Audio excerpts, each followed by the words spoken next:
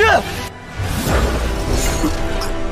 老师，老师不能继续陪在你身旁了。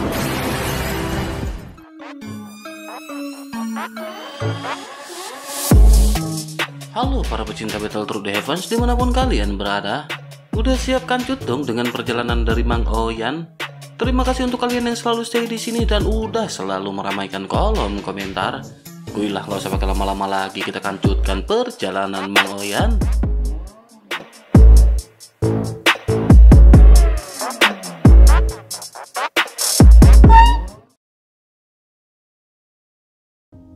Cerita masih berkancut dengan Xiaoyan yang pada saat ini sedang berlatih. Xiaoyan memanfaatkan pil yang pada saat ini Xiaoyan miliki untuk menyerap energi sebanyak mungkin. Pada saat ini pusaran benar-benar terbentuk dengan gila-gilaan. Energi origin abadi yang berada di sini semuanya benar-benar diserap dengan maksimal oleh Xiaoyan. Jie juga pada saat ini tiba-tiba memiliki ekspresi keterkejutan di wajahnya. Xiaoyan pada saat ini tampak seperti lubang hitam tanpa batas yang menyerap sumber origin abadi. Tidak ada jeda atau keraguan saat Xiaoyan pada saat ini benar-benar menyerap semua energi. Sejujurnya ini adalah pertama kalinya bagi Jie melihat pemandangan langka seperti ini. Ini adalah cara latihan yang sangat gila dan benar-benar menantang batas. Di mata Jie, hal yang dilakukan oleh Xiaoyan ini benar-benar tampak seperti sesuatu yang mustahil. Hal itu dikarenakan jika origin abadi diserap dengan begitu cepat, kemungkinan besar tubuh tidak akan mampu menahan origin abadi yang melonjak dengan ganas.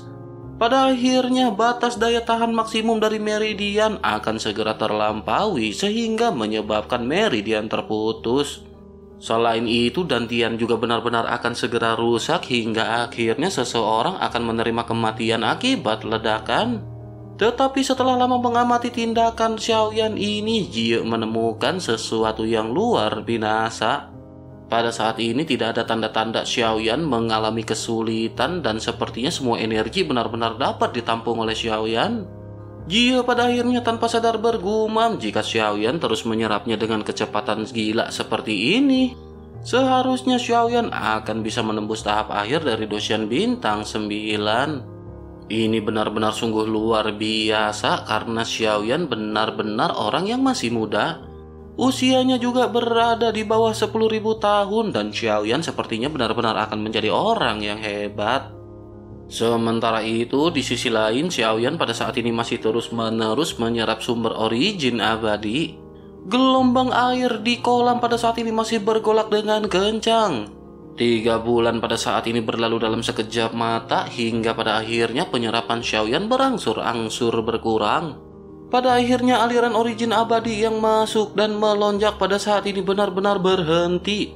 Xiaoyan juga pada saat ini bisa merasakan di tubuhnya ada perubahan yang mengejutkan yang sedang terjadi di dantiannya. Sembilan bintang terang dan bersinar berputar-putar di dantian tubuh Xiaoyan. Namun pada saat ini bintang ke-10 yang terang segera bersinar dengan cepat. Selain itu pembentukan bintang ini masih terus berlanjut hingga pada akhirnya yang ke-11 dan ke-12 masih terus muncul. Jumlah dari bintang yang dibentuk oleh Xiaoyan pada saat ini masih terus meningkat dan Xiaoyan seketika terkejut. Selain itu, pada saat ini Xiaoyan juga merasakan adanya gumpalan aura merah yang tidak jelas dan kuat. Xiaoyan pada saat ini telah berhasil menembus tahap akhir dari Doshan Bintang 9 dan Xiaoyan sangat gembira. Namun yang mengejutkan Xiaoyan adalah Xiaoyan benar-benar tidak menyangka semuanya akan bisa Xiaoyan capai dalam waktu hanya tiga bulan. Pada akhirnya Xiaoyan pun segera menekan perasaannya ini sebelum akhirnya Xiaoyan berdiri. Xiaoyan pun meregangkan otot-ototnya setelah berlatih cukup lama. Namun tiba-tiba sebuah adegan muncul di hadapan Xiaoyan di mana sosok Jie pada saat ini masih telanjang. Sosoknya masih berbaring telentang dengan tenang tidak jauh dari posisi sebelumnya. Sementara itu di sisi lain, Jie pada saat ini tersenyum ke arah Xiaoyan dan berkata sepertinya latihan ini benar-benar berjalan cukup lancar. Xiaoyan pada saat ini menghela nafas dan merasa pusing dengan apa yang pada saat ini Xiaoyan lihat. Xiaoyan pada akhirnya segera berkata, tidak bisakah Yang Mulia pada saat ini lebih peduli dengan citranya? Mendengar hal tersebut pada saat ini Jie hanya tersenyum dan tidak menggubris perkataan Xiaoyan. Jie pada saat ini hanya memperhatikan perubahan yang terjadi di tubuh Xiaoyan. Pada akhirnya ia tertawa dan berkata bahwa Xiaoyan sekarang telah memadatkan lautan kecil dewa di dantian di tubuhnya. Xiaoyan pada saat ini sangat bingung dengan apa yang disebutkan oleh Jie barusan. Xiaoyan pada akhirnya tanpa sadar berkata apa yang dimaksud dengan lautan dewa.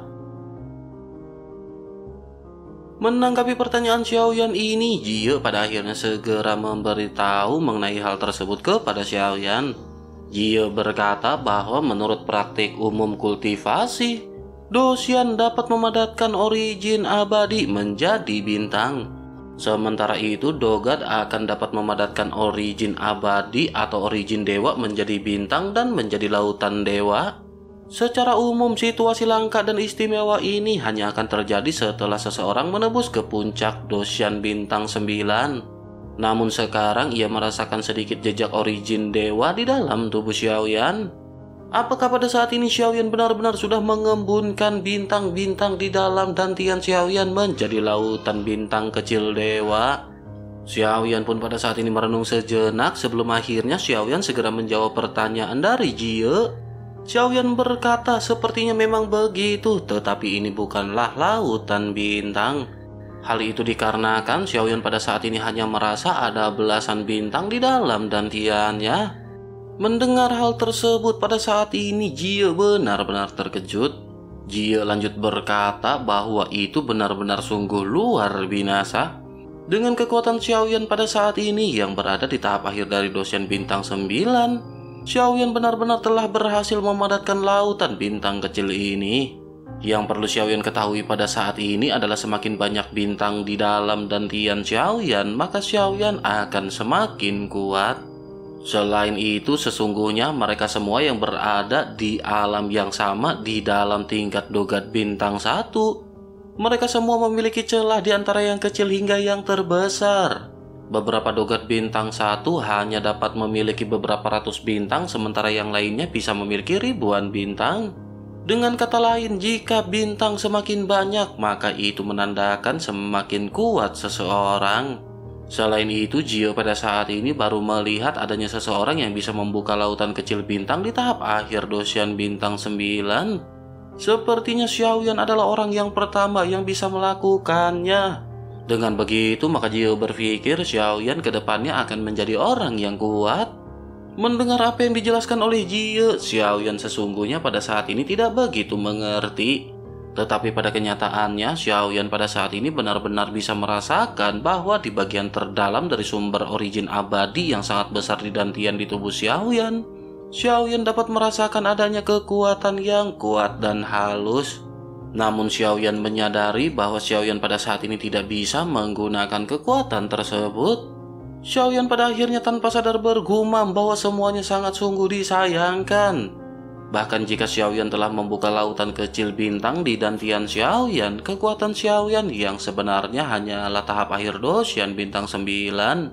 Xiaoyan masih sangat jauh dari penerobosan menuju ke tingkat Dogan. Mencapai ranah Dogat ini benar-benar merupakan tujuan yang masih belum bisa dilihat oleh Xiaoyan. Melihat Xiaoyan yang pada saat ini merenung, Jie pun tersenyum sebelum akhirnya kembali menjelaskan kepada Xiaoyan Jio berkata sebenarnya hal itu tidak sepenuhnya tidak berguna pada saat ini. Sesungguhnya salah satu alasan terpenting mengapa banyak dosen puncak bintang 9 berhenti dan tidak menerobos ke tingkat dogat. Semua itu dikarenakan mereka tidak dapat membuka satu lautan bintang pun. Kemampuan seperti ini sesungguhnya biasanya hanya dapat dilakukan ketika seseorang mencapai ke puncak dosen bintang 9 dapat dikatakan bahwa pembentukan dari lautan bintang ini merupakan hal yang sangat dirindukan oleh tiap dosen bintang 9. Namun faktanya pembentukan bintang ini benar-benar sangat sulit bagi setiap orang. Oleh karena itu pada saat ini dengan Xiaoyan yang bisa membentuk lautan bintang, maka Xiaoyan dapat dikatakan telah memiliki kualifikasi untuk bisa menerobos. Tetapi Xiaoyan jangan senang terlebih dahulu karena peluang keberhasilan untuk menerobos dogat masih tidak ditentukan oleh hal tersebut. Hal tersebut akan berpengaruh dengan kekuatan Xiaoyan setelah Xiaoyan masuk ke tingkat dogat. Mendengar hal tersebut, Xiaoyan pada akhirnya menganggukkan kelapanya dan berkata memang setelah lautan bintang ini terbentuk, Xiaoyan dapat dengan jelas merasakan bahwa ada sumber energi yang dapat ditampung di dalam dantian Xiaoyan. Energi ini benar-benar cukup kuat meskipun Xiaoyan pada saat ini hanya memiliki belasan bintang. Jio pun menganggukkan kelapanya dan lanjut berkata kepada Xiaoyan bahwa Xiaoyan baru saja membuka lautan kecil bintang pada saat sebelumnya. Oleh karena itu Xiaoyan harus mencoba memadatkan bintang sebanyak mungkin. Dengan begitu, ketika Xiaoyan menerobos ke tingkat Doshan, maka semakin banyak bintang di dalam dantian Xiaoyan. Dengan begitu, maka nilai dari kekuatan dogat yang Xiaoyan miliki benar-benar akan sangat kuat. Selain itu, umumnya lautan bintang ini dibagi menjadi empat tingkat yang berbeda. Mereka dibagi menjadi tingkat langit, tingkat bumi, tingkat hitam, dan tingkat kuning. Yang terendah adalah tingkat kuning, sementara yang tertinggi adalah tingkat langit atau surgawi. Mendengar hal tersebut, Xiaoyan pada saat ini sedikit mengerutkan keningnya. Xiaoyan pada saat ini juga menatap ke arah wajah cantik Jie dan Xiaoyan ingin tahu di tingkat manakah Jie pada saat ini berada. Xiaoyan pada akhirnya segera bertanya kepada Jie, lalu di permukaan atau di tingkat bagian manakah lautan bintang yang dimiliki oleh Yang Mulia Jie? Jie pun tersenyum canggung setelah mendengar pertanyaan dari Xiaoyan ini. Jia pada akhirnya sedikit terbatuk sebelum akhirnya berkata bahwa bakat yang dimiliki oleh Jia sesungguhnya sangat terbatas. Faktanya, lautan bintang milik Jia hampir tidak bisa dianggap sebagai lautan bintang tingkat suan atau tingkat hitam. Singkatnya bahwa kekuatan dari lautan bintang Jia benar-benar tidak kuat sama sekali. Mendengar hal tersebut, Xiaoyan pada saat ini ingin tahu bagaimana cara mengukur kekuatan dari lautan bintang ini. Xiaoyan pun segera bertanya bahwa Xiaoyan tidak tahu berapa level lautan bintang di dantian Xiaoyan. Bagaimana Xiaoyan bisa mengetahui dan apa cara menilai lautan bintang ini? Jia pun tersenyum sebelum akhirnya Jia segera melambaikan tangannya sebelum akhirnya aura yang sangat kuat pada tubuhnya tiba-tiba melonjak. Aura Jia pada saat ini masih terus meningkat dan kekosongan di sekitarnya tidak dapat menahan tekanan dan mulai berguncang. Setelah itu Xiaoyan bisa melihat adanya origin dewa milik Jia yang melonjak keluar dari dalam tubuhnya. Xiaoyan juga bisa melihat banyaknya bintang yang memsepona yang tak terhitung jumlahnya. Selain itu, ketika Xiaoyan mengamati jumlah bintang ini berjumlah hampir seribu. Sementara itu, Jia pada saat ini segera menjelaskan kepada Xiaoyan bahwa origin dewa tingkat kuning memiliki warna yang lebih kuning. Sementara itu yang tingkat hitam berwarna agak kebiru tua. Lautan bintang tingkat D memiliki warna yang agak hitam, sementara lautan bintang tingkat surgawi memiliki warna putih keperakan. Dengan warna-warna inilah pada akhirnya lautan bintang akan bisa dengan mudah dibedakan. Xiaoyan pada akhirnya menganggukkan kelapanya mendengar apa yang baru saja dijelaskan oleh Jie. Setelah itu Xiaoyan juga pada saat ini segera melepaskan seluruh origin abadi di dalam tubuhnya. Namun pada saat ini origin abadi di dalam tubuh Xiaoyan hanya berwarna merah muda. Aura yang dipancarkan oleh Xiaoyan ini benar-benar tidak menampilkan bintang seperti apa yang ditampilkan oleh Jie. Xiaoyan pada akhirnya sangat bingung sebelum akhirnya bertanya kenapa tidak ada bintang yang melonjak. Jie pun tersenyum sebelum akhirnya berkata apa yang pada saat ini Xiaoyan pikirkan. Bagaimana mungkin Xiaoyan dengan kultivasinya sebagai dosian bisa memadatkan sumber energi Xiaoyan sendiri sepenuhnya? Bahkan jika Xiaoyan telah memadatkan bintang-bintang di lautan bintang di tubuh Xiaoyan, hal ini juga merupakan sesuatu yang tidak bisa dilakukan oleh Xiaoyan dengan kekuatannya pada saat ini. Hal itu dikarenakan kekuatan dari sumber origin abadi di tubuh Xiaoyan masih jauh dari kata cukup. Mendengar hal tersebut, Xiaoyan pada saat ini menganggukkan kelapanya. Xiaoyan pada akhirnya pada saat ini menjadi semakin bersemangat untuk meningkatkan kekuatannya. Xiaoyan pada akhirnya bergumam bahwa sepertinya itu memang permasalahannya. Jika begitu permasalahannya, maka Xiaoyan pada saat ini tidak bisa menunda lebih lama lagi. Lebih baik pada saat ini Xiaoyan terus berlatih untuk meningkatkan kekuatannya. Pada akhirnya setelah selesai berbicara, Xiaoyan pada saat ini segera kembali memulai pelatihan. Setelah berhasil menembus tahap akhir dosian bintang 9, Xiaoyan awalnya berencana untuk berjalan-jalan dengan santai sejenak. Namun Xiaoyan pada saat ini benar-benar sangat bersemangat dan ingin segera kembali meningkatkan kekuatannya. Xiaoyan pada akhirnya memasukkan pil yang tersisa dalam jumlah besar ke dalam tubuhnya. Setelah itu origin abadi di dalam kolam pada saat ini kembali melonjak dan kembali masuk ke dalam tubuh Xiaoyan. Xiaoyan pada saat ini kembali menyerap sumber origin abadi dengan gila-gilaan dan Xiaoyan benar-benar bersemangat. Sekarang Xiaoyan telah membuka lautan kecil bintang dan Xiaoyan tidak dapat lagi dengan cepat menampung sumber origin abadi. Xiaoyan memiliki batas penyerapan atas origin abadi. Tetapi setiap kali jenuh, perasaan nyaman perlahan menyebar di tubuh Xiaoyan. Origin yang jenuh ini segera berubah menjadi bintang dan mengisi lautan bintang di dalam dantian Xiaoyan. Seiring bertambahnya waktu latihan Xiaoyan, jumlah bintang di lautan bintang Xiaoyan juga akan bertambah. Xiaoyan pada saat ini benar-benar sangat gembira dan Xiaoyan terus berfokus untuk meningkatkan jumlah bintang di dalam dantiannya. Sementara itu di sisi lain, Jie pada saat ini juga memutuskan untuk kembali nyemplung ke dalam kolam. Pada saat ini luka Jie masih belum sepenuhnya sembuh setelah dibantu oleh Xiaoyan. Bagaimanapun racun yang sebelumnya telah diatasi oleh Xiaoyan ini bukanlah racun kaleng-kaleng. Meskipun tidak bisa langsung dihilangkan, tetapi Jie pada saat ini bisa mengikis perlahan melalui origin dewa. Pada akhirnya Jie memulai proses penyerapan origin dewa untuk membersihkan sisa-sisa racun yang berada di dalam tubuhnya. Pada akhirnya dua sosok ini sama-sama tenggelam dalam kolam dengan tujuan yang berbeda. Xiaoyan juga pada saat ini benar-benar sangat fokus karena Xiaoyan tidak berniat untuk menghentikan latihannya yang panjang dan membosankan. Xiaoyan berpikir dalam waktu enam bulan berikutnya sebelum upacara daftar emas diadakan, Xiaoyan memutuskan untuk berlatih sepenuhnya di kolam spiritual ini.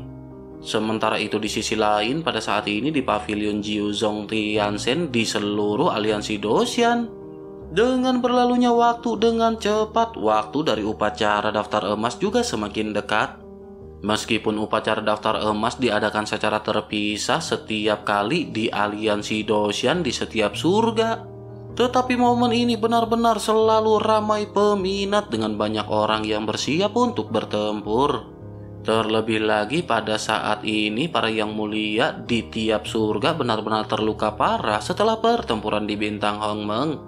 Oleh karena itu pada saat ini akan banyak pertempuran dan perebutan posisi dari masing-masing orang kuat di setiap surga. Banyak orang yang memiliki kekuatan kuat tetapi sengaja menekan kekuatannya dan bersembunyi di kedalaman terdalam. Mereka semua menunggu waktu yang tepat untuk keluar dan biasanya mereka keluar di saat-saat kompetisi ini dimulai. Sementara itu di sisi lain, Chen Li juga pada saat ini sedang berlatih dan segera membuka matanya. Ia merasakan aura yang berada di dalam tubuhnya dan ia pada saat ini tersenyum. Meskipun semua orang di surga ke-9 tahu bahwa Chen Li merupakan dosian bintang 8, tetapi sesungguhnya pada saat ini kekuatan Chen Li benar-benar telah menerobos ke tingkat puncak Doshan bintang 9. Chen Li pada saat ini benar-benar harus menunggu waktu yang tepat agar ia bisa mengungkapkan kekuatannya dan bersaing dengan orang kuat lainnya. Chen Li pun menekan perasaannya sebelum akhirnya Chen Li pada saat ini segera bergegas keluar ruang pelatihan. Begitu Chen Li keluar pada saat ini sudah ada beberapa orang yang menunggu Chen Li di aula. Chen Li pun menyipitkan matanya melihat orang-orang yang pada saat ini berada di sini. Mereka telah menunggu Chen Li selesai pelatihan untuk waktu yang cukup lama dan mereka pada saat ini segera menangkupkan tangan masing-masing. Sementara itu Chen Li pada saat ini segera bertanya apakah mereka telah menemukan informasi berharga mengenai permasalahan sebelumnya. Obat ini dua kali lebih kuat jika dibandingkan dari pil kondensasi Ki. Oleh karena itu siapakah si penjual obat ini? Dua sosok yang merupakan pemimpin pada saat ini saling memandang sebelum akhirnya salah seorang di antara mereka segera mulai berbicara. Sosoknya berkata bahwa mereka baru saja menemukan petunjuk. Mereka telah menghabiskan banyak uang dan usaha untuk mendapatkan informasi dari mulut beberapa orang. Mereka pada akhirnya telah mendapatkan sedikit informasi mengenai orang yang menjual pil pengumpul jiwa tersebut. Tetapi informasi ini masih agak tidak pasti dan ia benar-benar meragukan hal tersebut. Mendengar hal itu, Chen Li pada saat ini sedikit mengerutkan kening dan segera berbicara dengan sedikit nada marah. Chen Li berkata jika mereka tidak yakin mengapa mereka pada saat ini membawa informasi tersebut. Karena informasi ini tidak cukup otentik, maka mengapa mereka pada saat ini harus membuang-buang waktu untuk berdiskusi? Salah seorang di antara mereka pada saat ini kembali berbicara kepada Chen Li. Ia berkata sepertinya saudara Chen Li pada saat ini telah salah paham. Sesungguhnya yang mereka tidak percaya bukanlah mengenai berita tersebut. Yang mereka ragukan adalah sosok yang menjual dan memurnikan obat tersebut. Terlebih lagi, mereka juga pada saat ini meyakini sosok yang memberikan informasi bukanlah karakter yang suka berbohong. Mereka pada saat ini hanya tidak percaya terhadap sosok yang telah memurnikan obat tersebut. Mendengar hal tersebut, Chen Li pada saat ini sedikit mengerutkan kening dengan ekspresi lebih serius. Sementara salah seorang di antara mereka pada saat ini segera berkata bahwa orang tersebut sebenarnya memiliki nama Xiao Feng. Orang ini telah lama menjadi sampah terkenal di surga ke-9 di Aliansi Dosian. Karakternya bahkan benar-benar dicap sebagai seorang pengecut dan ia tidak kompeten. Oleh karena itu, hal inilah yang membuat mereka berpikir sangat mustahil bagi Xiao Feng ini bisa memurnikan pil dengan efek yang sangat baik.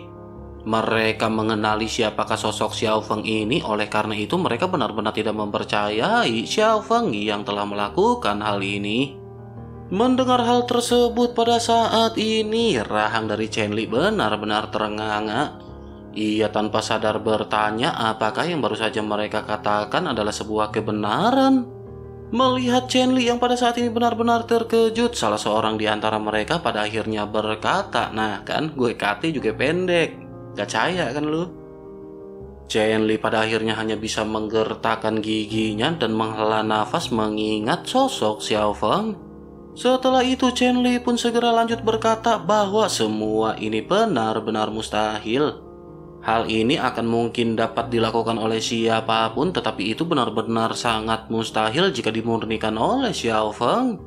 Mungkinkah pada saat ini ada orang lain dengan nama yang sama dengan Xiao Feng di surga ke-9? Chen Li pada saat ini merenung memikirkan kemungkinan tersebut sebelum akhirnya Chen Li pada saat ini menggelengkan kelapanya. Di sisi lain, salah seorang dari pembawa berita juga pada saat ini berkata seharusnya tidak ada lagi nama Xiao Feng di sini. Selain itu, semua orang yang membeli obat ini juga berkata bahwa ini didapatkan oleh Xiao Feng.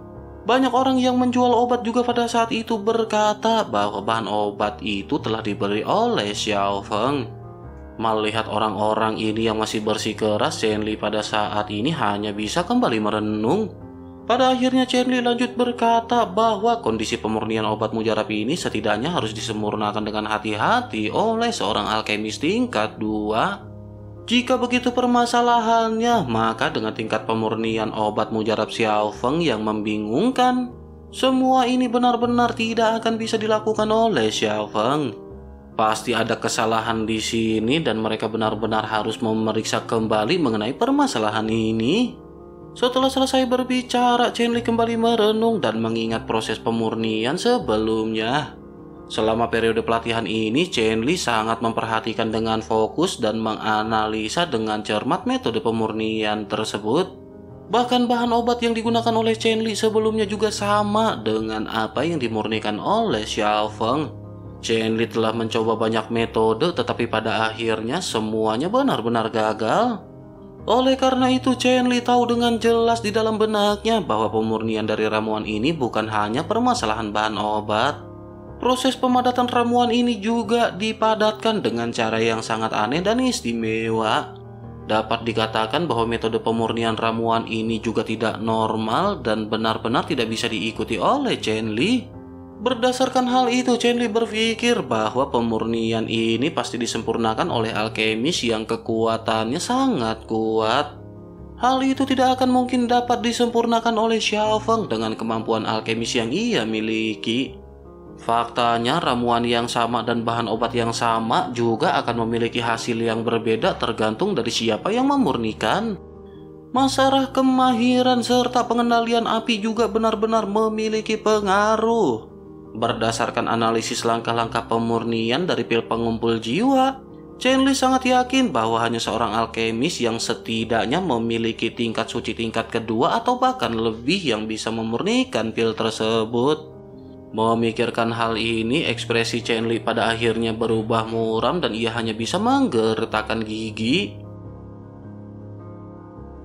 Singkat cerita, waktu pun berlalu dengan cepat dan pada saat ini momen yang ditunggu-tunggu oleh banyak orang pada akhirnya tiba. Jalan-jalan di aliansi Dosian pada saat ini benar-benar sangat sepi karena semua orang pada saat ini pergi ke pavilion. Mereka semua ingin berpartisipasi dalam kompetisi dan semua orang pada saat ini bersemangat. Pada saat yang bersamaan di Gunung Sumber Roh juga pada saat ini ada banyak orang kuat yang pada akhirnya menghentikan pelatihan masing-masing. Mereka segera mulai bergegas menuju ke pavilion untuk pertempuran. Di puncak ke-8 pada saat yang sama aura dari Malong Ming juga telah mencapai tingkat kultivasi batasnya. Malong Ming pada saat ini segera membuka matanya dan ia menghirup udara yang sangat segar. Setelah itu Malong Ming segera merasakan aura di dalam tubuhnya dan Malong Ming tersenyum. Tekanan kuat pada saat ini segera melonjak dari tubuh Malong Ming dan Malong Ming segera bergumam bahwa ia pada saat ini sudah mencapai puncak dosian bintang 9. Setelah pelatihan yang sangat panjang pada saat ini Malong Ming benar-benar telah berhasil menerobos ke tingkat puncak dosian bintang 9. Dengan kekuatan ini, Malong Ming pada saat ini percaya bahwa ia tidak akan terkalahkan. Kegembiraan dan kebanggaan pada akhirnya muncul di dalam hatinya dan Long Ming pada saat ini sangat bersemangat. Namun sebelum ia hendak pergi, pada saat ini ia segera kembali teringat kepada sosok Xiao Feng. Long Ming pada akhirnya memutuskan untuk menunggu sejenak dan melihat apakah Xiao Feng berhasil keluar dari gunung ke-9 atau tidak. Niat membunuh yang kuat pada saat ini benar-benar melonjak ketika Malong Bing mengingat sosok Xiao Feng. Namun setelah beberapa saat, sosok Xiao Feng yang ditunggu-tunggu pada saat ini benar-benar tidak muncul. Pada akhirnya Malong Bing menggertakkan gigi dan bergumam sebaiknya Xiao Feng tidak hadir di dalam kompetisi. Setelah itu pada akhirnya Malong Ming pada saat ini segera pergi menuju ke pavilion. Sementara itu pada saat yang sama di gunung berapi ke-9 Xiaoyan pada saat ini telah keluar dari kolam. Xiaoyan telah mengenakan pakaian begitu juga dengan Jie yang selesai berlatih. Wajah Xiaoyan pada saat ini terlihat jernih dan Xiaoyan pada saat ini sedikit tersenyum. Namun Xiaoyan segera menekan aura yang keluar dari tubuhnya Sementara itu, Jie pada saat ini memandang ke arah Xiaoyan dan Jie juga pada saat ini sedikit tersenyum. Jie segera berkata kepada Xiaoyan sepertinya Xiaoyan pasti menang kali ini. Xiaoyan pun sedikit mengangguk mendengar apa yang baru saja diucapkan oleh Jie. Setelah itu Xiaoyan pun menghela nafas sebelum akhirnya Xiaoyan segera kembali mengenakan mantel dan topi untuk menutupi identitasnya. Bagaimanapun juga sosok Xiao Feng sebelumnya berada di daftar dan merupakan peringkat ke-9 dari daftar kuat. Dapat dikatakan bahwa sosok Xiao Feng terkenal juga di dalam hal kekuatan.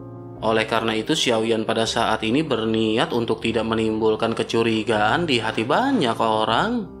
Pada akhirnya setelah mempersiapkan semuanya, Jio pada saat ini segera berkata kepada Xiao Yan agar mereka pada saat ini segera pergi. Xiaoyan pun menoleh sebelum akhirnya keduanya pada saat ini saling mengangguk bersamaan.